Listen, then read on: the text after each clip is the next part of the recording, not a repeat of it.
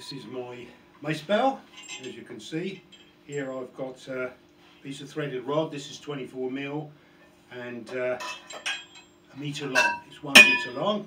This is a handle. You could put almost anything on here I suppose, even a bit of tape. That's a bit of old sleeving I had out in the shed. Tighten it down with two nuts, two washers and you can just uh, slip your weights on put another nut and washer on the top to hold it on anywhere of course as much weight as you like. If you want to use Olympic just put a sleeve on. Put your weight on.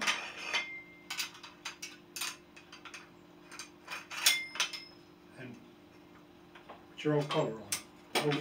Now if you want to make it look a little bit more professional you can use these. Oh, these are a couple of old bowls I bought down the local shop.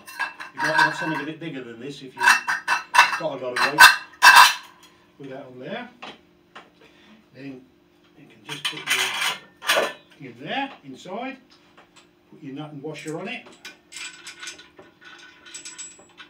If you're going to use your Olympic, obviously you won't need this nut because these two will go against the, the sleeve and lock it in there. If you're going to use standard, you'll want uh, an extra nut washer. Just tighten it down there, just put it down so it's held in there, like that. You can just nip it up with a spanner, just to make sure it's uh, nice and tight. Then slide your other one on. Put your nut and washer on. And again, as I say, just uh, give it a little twist to make sure it's absolutely so it don't fly off and when you're out in the garden swinging it about, you don't fly off and hit the next door neighbour's cat. And there you have your old mace bell.